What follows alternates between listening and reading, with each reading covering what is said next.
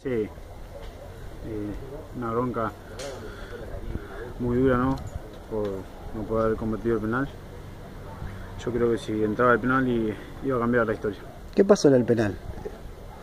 Ah, tenía confianza. Tenía confianza, fui decidido y eh, el arquero no tapó. ¿Eras el encargado de ejecutarlo o lo pediste en el momento?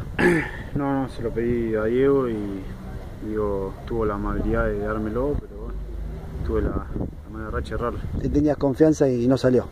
Sí, sí, me tenía confianza y no, bueno, tuve la desgracia de, de haberlo pateado mal y tapar al arquero. Fue una jugada bisagra en el partido, podía haber cambiado la historia ahí.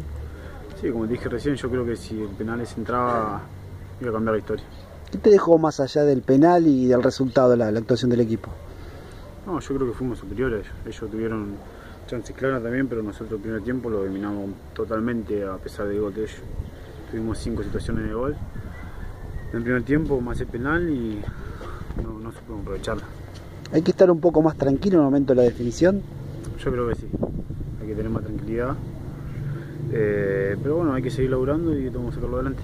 Se viene ahora otro rival difícil, otro viaje, ir a Rosario a enfrentar a Central Córdoba, un rival que está cerca también eh, en la zona del promedio, es, es, otro partido importante.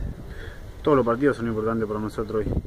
Eh, pero bueno, vamos a, vamos a ir a Rosario, vamos a trabajar una semana para tratar de hacer lo mejor posible y traer los tres puntos por acá. ¿El objetivo es ganar ahí, no ser otro resultado? Y no, yo creo que no.